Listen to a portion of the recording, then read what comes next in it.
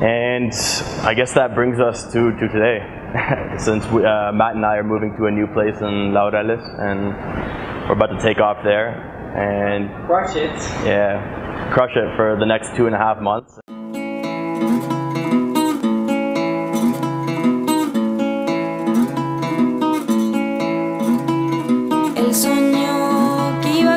The, the mentality of the people here and just the culture, it's so laid back so you're able to escape from that like constant grind that I was facing in New York City, which is great up until a point and then you know you kind of have to detox a little bit. You know balance like being happy having a good social circle working out you know going out and partying not just just being like so one-dimensional so my name is Matt. I am the founder of a brand called The Masqline. It's a men's lifestyle website that offers self-development content to guys in order to help them sort of achieve the lifestyle of, of their dreams. I graduated um, from university and I, like, like many other people, I got stuck in a typical shitty like corporate job. So I just got here, this is my second time in Medellin. And the first time I was here, I had just quit the job that you described. Um, I had quit my consulting job.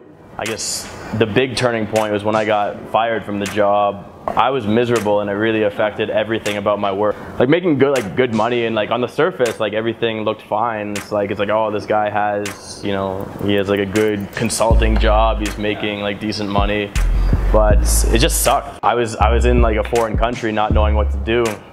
Uh, couldn't find a job, couldn't speak the language there. So I started learning about internet marketing and within four months I was able to um, support myself by building this uh, internet marketing agency and social media marketing agency, which is what I do full time. The reason that I came down here was because I had two friends, internet friends, uh, that I had connected with a few years back and we had become like mastermind buddies. And they were both online entrepreneurs and um, business owners, and I knew that surrounding myself with that type of person was what I needed.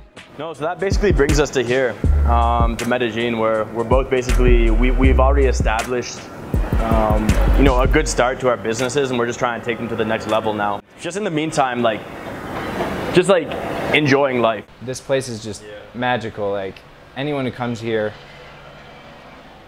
are just blown away by the beauty of the people and the weather and just the culture, the laid back mentality, it's just amazing. So I'm so pumped to be back. Um, the last time I was here, I was just like grinding, like incessantly. I was like a robot, just working out, waking up, working like crazy hours. And now I can finally enjoy myself and, and stay focused. So again, I mean, look at this view. It's just ridiculous. Of course, we got to give a shout out to the beautiful, beautiful women of Medellin. Like, it is just next level here, and I'm very excited to meet some beautiful Colombianas, and um, it's just an amazing, amazing place. Yes, that's, don't expose my strategies.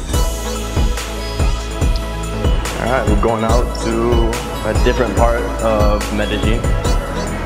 It's not too far from here, it's like I don't know, 10 minutes in taxi. It's um, definitely a more Colombian, like authentic Colombian area. Yeah, what's up? I don't think he's at the right place. Uh. All right, give him a call, give him a call. I don't think he's at the right place. I just got to cancel. Ah. Uh, that was long. Oh, it was exhausting. Uh, even though we only went like 10 minutes away, it took us like a solid two hours to move everything. But the new place is sweet. Yeah. It's uh, still has a little bit more to go, but it's, it's cool. Two floor a, penthouse. We're getting a projector here. So, and look at this awesome view. Oh yes. Yes, the view is spectacular. Yeah, that's pretty much it. Just gonna get settled in here.